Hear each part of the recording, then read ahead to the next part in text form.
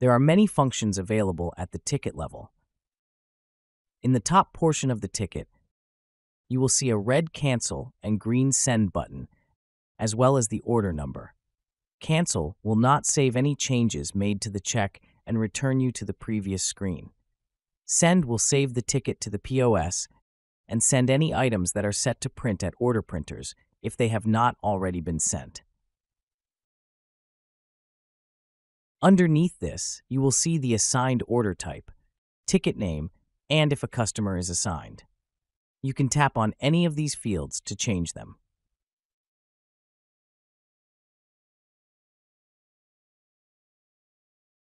In the main area of the ticket, you will see at least one seat position, labeled S1, and a table position for shared items. You can also add or remove seats by using the plus and minus buttons next to guest at the bottom of the ticket. Items will be added to the position that is highlighted in blue. If your business is concerned with reporting accurate headcount or sorting by guest in the kitchen, it is important to assign items to the proper positions.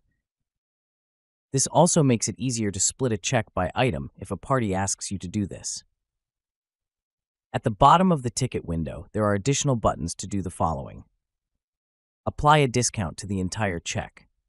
Manage, which allows you to split or combine checks. Add or remove taxes. Add or remove gratuities. And print the guest check. Once a ticket has been saved, you can tap on it to preview it on the left. The options below are Open the ticket, Manage, which allows you to split or combine tickets, Take payment, Transfer the ticket to another user, Void, Assign the ticket to a different table, and print the guest check.